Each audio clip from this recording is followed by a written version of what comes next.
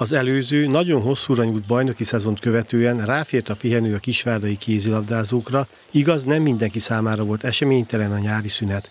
Bakó Botont a Magyar Strand kézilabda válogatott szövetségi edzőjeként irányította a Várnai Európa-bajnokságon a nemzeti csapatot, amelynek kapuját Máté Fidalma védte. Az elmúlt héten azonban már a Kisvárdai sportcsarnokban a 2021-22-es idényre készült az edző és a játékos. A keret némileg átalakult az előzőhöz képest, új játékosnak számít Tamara Radojevics, Alexandra Stamenics, Darina Sulega, Katona Flóra, Juhász Gréta és Mérai Maja. Jó keretünk van és stabil keretünk van. Bízom benne, hogy azt a lépést meg tudjuk tenni, ami a tavalyi évben hiányzott, hogy, hogy az egygólos és a döntetlenre álló mérkőzéseinket megnyerjük. Új csapatmunkában, illetve egyéni fejlődésekben és karakterekben is előre kell lépnünk.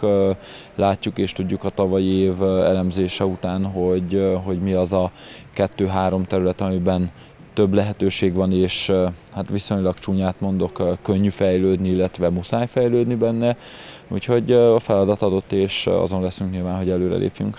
A kapus Mátéfi Dalmának az új idényben új posztással, egyben riválissal kell megküzdeni a minél több játék lehetőségért. Új kapustárs érkezett. Azt gondolom, hogy nagy lesz a harc így a, a, hát a, a védhető percekért, de szerintem mind a ketten meg fogunk küzdeni érte, és hát igyekszem teljesíteni, hogy Boti is bízom bennem, és hogy, hogy minél többet játszhassak és megmutathassam. A Kisvárda két új szerzeménye, Juhász Gréta és Mérai Maja aranyéremmel tért haza a szlovéniai junior Európa bajnokságról. A balszélsőt a torna országcsapatába is beválasztották. Nagyon nagy élmény volt, ezért dolgoztunk egész évben, nem csak a válogatottal, de a a csapattársaimmal is, akik a válogatottban is együtt játszottunk, és arra viszont nem számítottam, hogy bekerülök az osztálycsapatba, annak, annak nagyon örültem, de, de ami a legjobb volt, hogy meg tudtuk tartani, megvédtük a címünket.